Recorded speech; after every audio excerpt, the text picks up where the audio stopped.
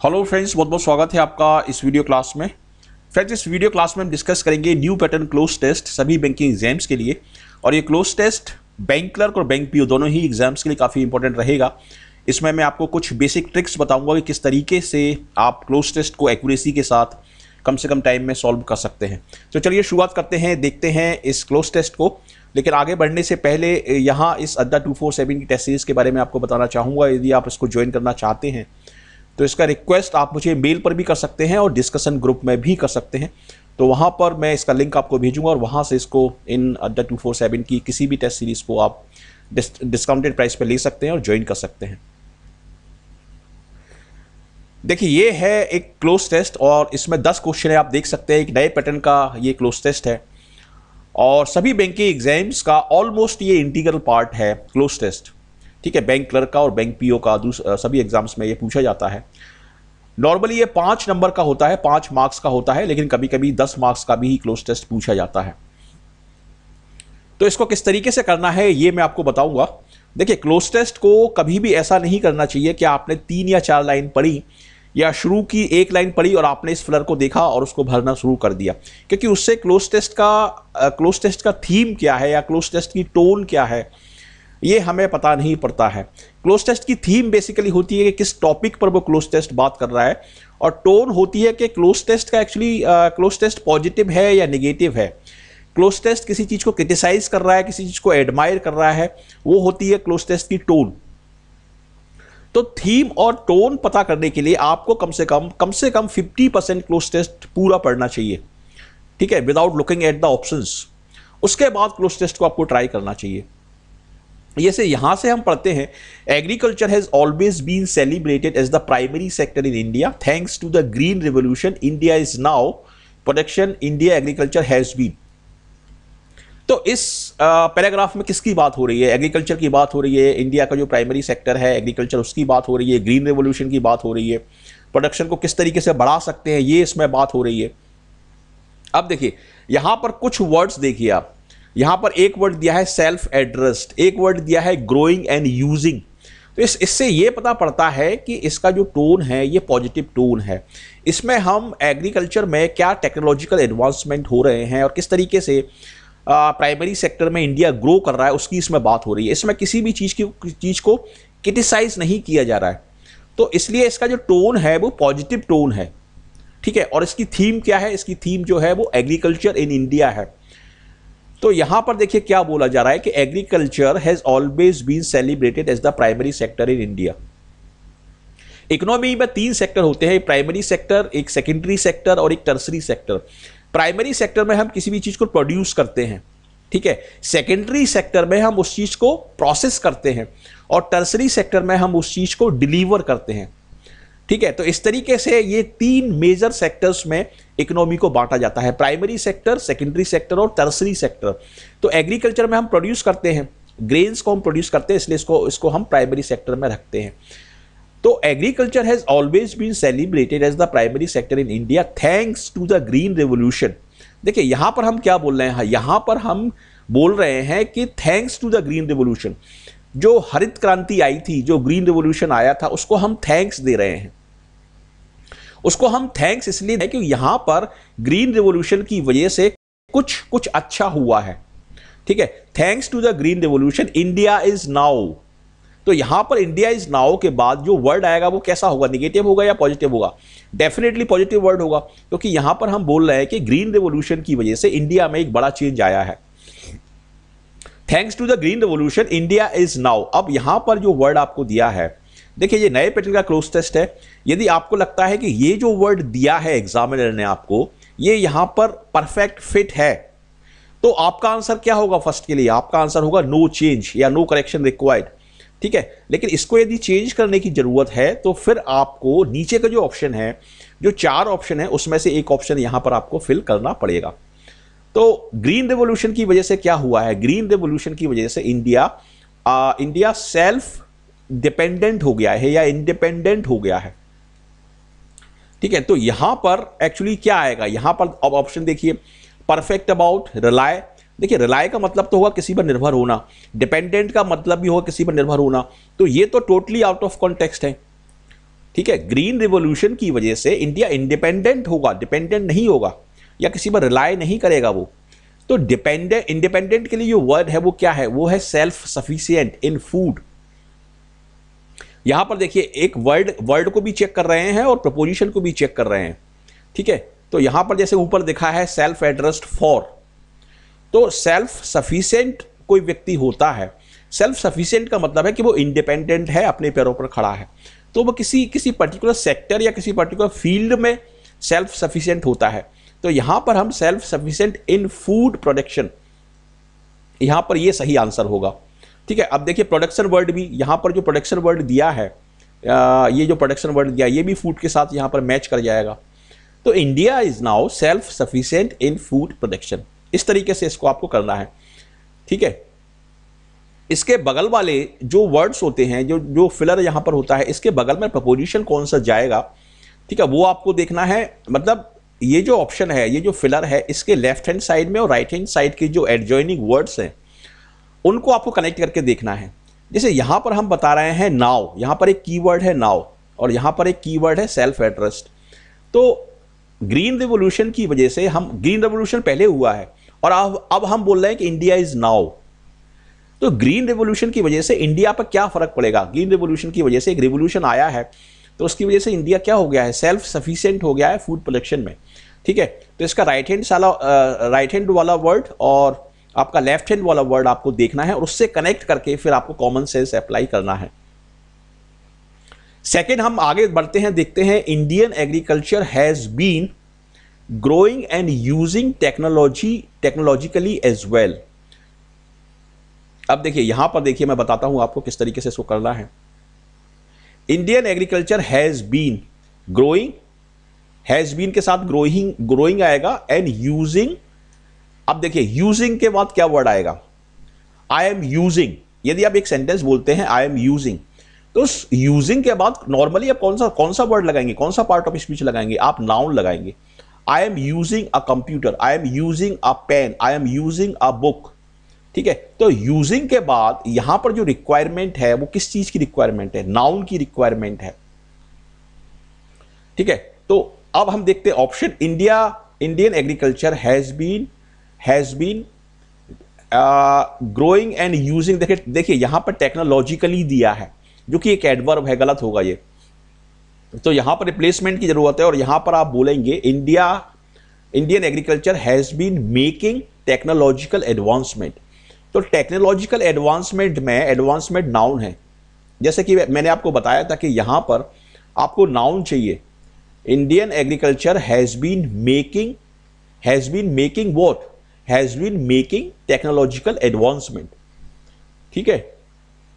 As well मतलब India में technological advancement भी एग्रीकल्चर की फ़ील्ड में होते रहे हैं। Indian agriculture has been has been के बाद आईएनजी फॉर्म आएगा। तो आईएनजी फॉर्म लगा है मेकिंग और making what making advancement advancement क्या है? यहाँ पर नाउन है। एडवांसमेंट को मॉडिफाई कौन सा वर्ड कर रहा है? टेक्नोलॉजिकल तो टेक्नोलॉजिकल क्या हुआ? एडजेक्टिव है। एडवांसमेंट क्या है? Advancement is a noun technological is a adjective making is a verb ठीक है? तो यहाँ पर आपका सही आंसर होगा मेकिंग टेक्नोलॉजिकल एडवांसमेंट ये क्लोज टेस्ट जो है, ये सिंपल क्लोज टेस्ट है, इसमें कुछ भी कठिन नहीं है। Indian agriculture has been making technological advancement as well as well मतलब एज वेल आता है ऑल्सो के लिए। तो Indian agriculture has been making technological advancement as well ठीक है? तो ये हो गया आपका सेकंड अब हम आगे पढ़ते हैं और ऑप्शन नंबर थ्री देखते हैं क्या इसमें पूछा जा रहा है। Does that mean everything is looking bright for Indian agriculture A superficial analysis of the above points would tempt one to say yes, देखिए यहाँ पर हम ये बोला बोल रहे हैं कि इंडियन एग्रीकल्चर ग्रो कर रहा है और पॉजिटिव पॉजिटिव तरीके से ग्रो कर रहा है लेकिन यहाँ पर देखिए कॉन्ट्रास्ट क्रिएट किया जा रहा है। A superficial analysis of the above points would tempt one to say yes यदि यदि ऊपर जो पॉइंट्स दिए हैं, उसका एक सुपरफिशियल एनालिसिस किया जाए तो कोई भी व्यक्ति टेम्प्ट हो जाएगा, कोई भी व्यक्ति ये कहने पर मजबूर हो जाएगा कि Indian agriculture is growing quite good ठीक है? लेकिन यहाँ पर एक एक कीवर्ड दिया है बट बट के थ्रू यहाँ पर एक कॉन्ट्रास्ट क्रिएट किया जा रहा है तो यहाँ पर आपको एक कॉन्ट्रास्टिंग फ्रेज या वर्ड चाहिए। But the study is different हम नहीं बोलेंगे। बट द स्टडी के स्थान पर हम बोलेंगे। तीसरे में ऑप्शन क्या है? तीसरे में हम देख लिए, आगे बढ़ेंगे और इसमें हम बोलेंगे। But the truth is far from it देखिए, इस फ्रेज में हम क्या बोल रहे हैं कि सच्चाई जो है वो इससे दूर है।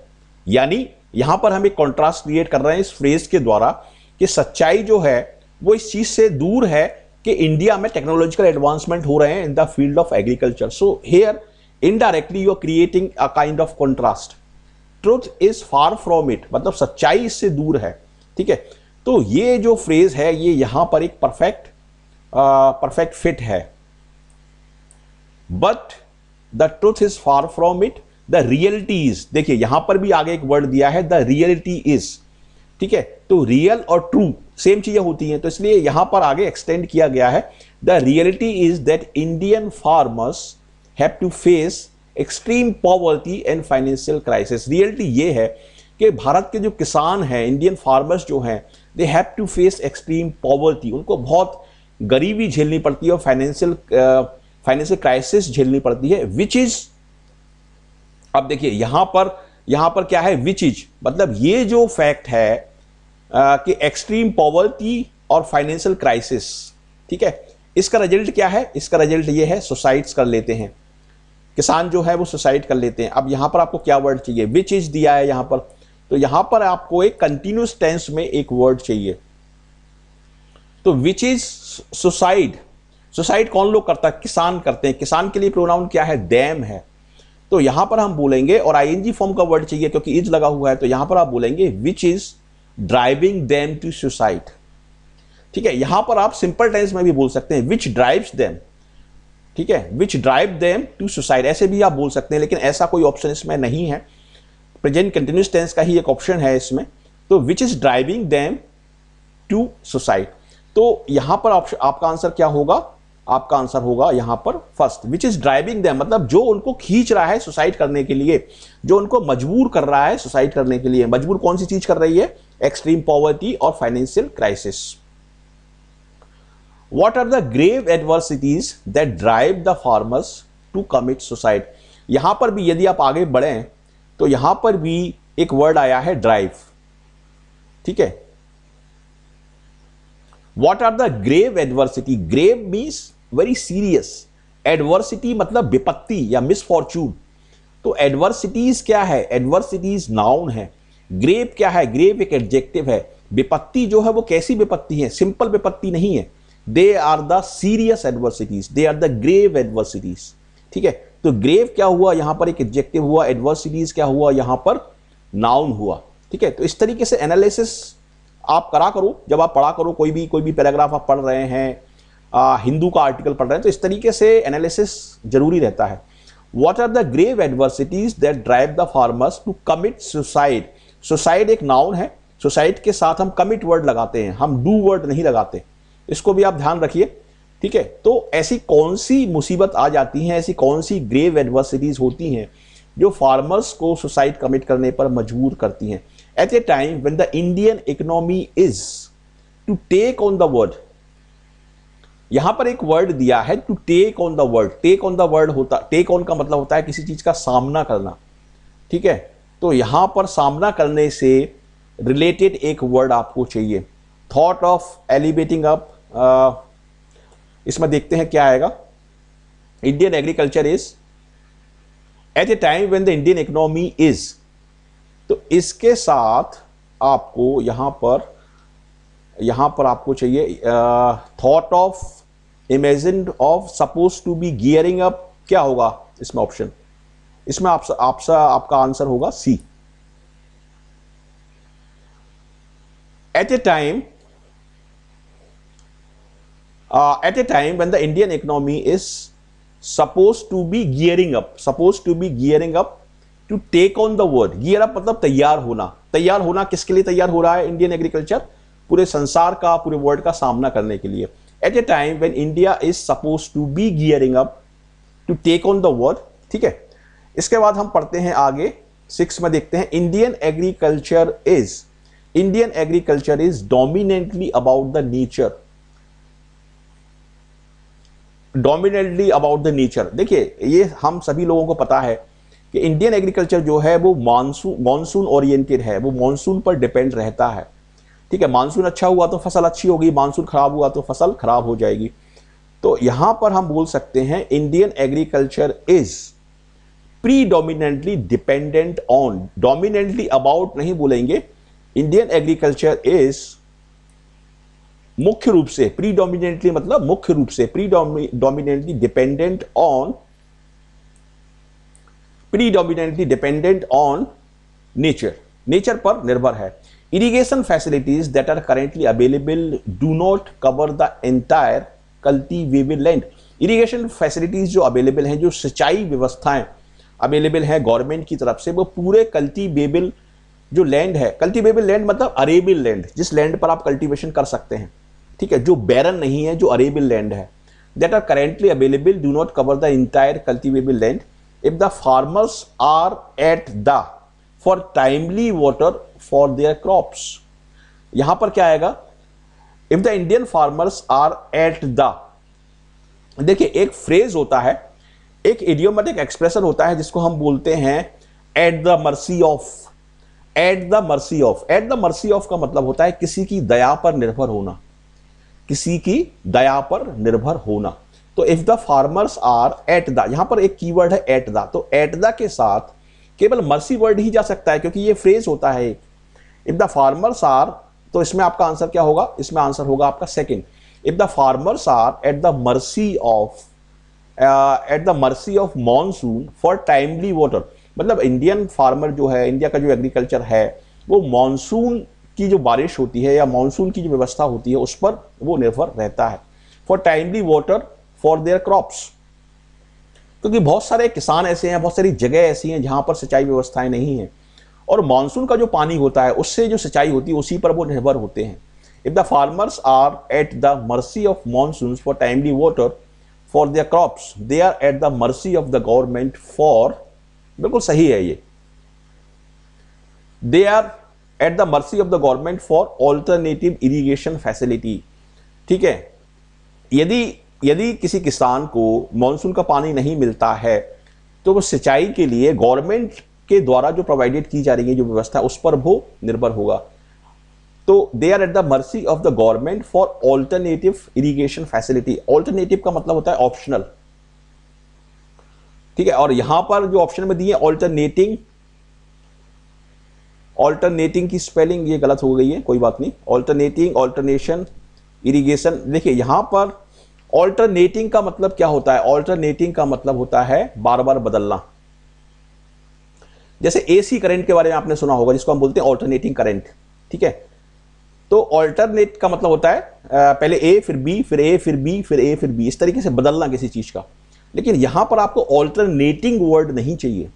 यहाँ पर आपको वर्ड क्या चाहिए? ऑल्टरनेटिव क्योंकि मानसून की यदि फैसिलिटी नहीं मिल पा रही है तो obviously the farmers are dependent on the alternative irrigation facility provided by the government so यहाँ पर the correct word is alternative irrigation facility तो आपका आंसर जो होगा क्वेश्चन नंबर एट का वो होगा no change because the change given is because the option given is already correct so you don't have to make any changes here तो alternating आप नहीं बोलेंगे, आप बोलेंगे alternative irrigation facility that is already correct okay any failure of nature directly affect the nature का कोई भी failure किस चीज़ को अफेक्ट करता है? Directly failure the directly failure the यहाँ पर हम देखते हैं directly directly affect the right of the farmers fortune of the farmers decision of the farmers nature of the farmers ठीक है? तो एनी फेलियर ऑफ़ नेचर यदि नेचर फेल होता है, यदि मानसून सही नहीं आता है तो उसकी जो फ़सल है, वो खराब हो जाती है और उससे आगे का उसका जो उसका जो फाइनेंशियल स्टेटस है या फाइनेंशियल जो उसकी पोजीशन है, वो पूरी तरीके से बिगड़ जाती है, क्योंकि उसकी इनकम नहीं आती है। ठीक है? तो यहाँ पर जो करेक्ट वर्ड होगा, वो होगा फॉर्चून्स ऑफ़ द फार्मर्स क्योंकि उसके पास पैसा नहीं आ पाता है तो फॉर्चून्स ऑफ़ द फार्मर्स यहाँ पर सही होगा। Secondly Indian agriculture is largely an unorganised sector India का जो एग्रीकल्चर है, वो पूरी तरीके से अनऑर्गेनाइज है। ठीक है? Unorganised sector there is no there is no what इसमें देखते हैं intellectual cultivation thoughtful cultivation true approach systematic planning in cultivation तो यहाँ पर जो सबसे अप्रोप्रिएट वर्ड है, वो है, देखिए इंटेलेक्चुअल कल्टीवेशन जैसा कोई वर्ड नहीं होता। थॉटफुल कल्टीवेशन ये कोई फिलोसफी नहीं है। ट्रू अप्रोच नहीं होता। हाँ सिस्टमेटिक प्लानिंग इन कल्टीवेशन आप बोल सकते हैं। क्योंकि जो एग्रीकल्चर जो सेक्टर है, वो अनऑर्गेनाइज है, इसलिए उसमें कोई there is no systematic planning in cultivation तो यहाँ पर आप ये बोल सकते हैं, ठीक है? तो यहाँ पर आंसर होगा आपका डी तो इस तरीके से इस क्लोज टेस्ट में मैंने 10 ऑप्शन को फिल करके आपको बताया है और होपफुली ये काफ़ी यूज़फुल रहेगा आपके लिए। बैंक पीओ और बैंक क्लर्क एग्ज़ाम में इस तरह के क्लोज टेस्ट पूछे जाते हैं। तो आपको कॉमन सेंस और लॉजिक को अप्लाई करना है थीम को पकड़ना है टोन को पकड़ना है। जो ऑप्शन होता है उसके राइट हैंड साइड वाला वर्ड और लेफ़्ट हैंड साइड वाले वर्ड को कनेक्ट करके उन ऑप्शंस को देखना है। उसके बाद ऑप्शन को आपको करना है तो इस, ऐसे आप करेंगे तो आसानी से एक्यूरेसी के साथ किसी भी क्लोज टेस्ट को आप कर पाएँगे। कोई भी फीडबैक इस वीडियो क्लास के रिगार्डिंग आप देना चाहते हैं तो इन नंबर्स पर और इन ईमेल आईडी पर आप दे सकते हैं। तो इस इस वीडियो क्लास में इतना ही, अब मैं आपसे मिलूँगा नेक्स्ट वीडियो क्लास में। Thank you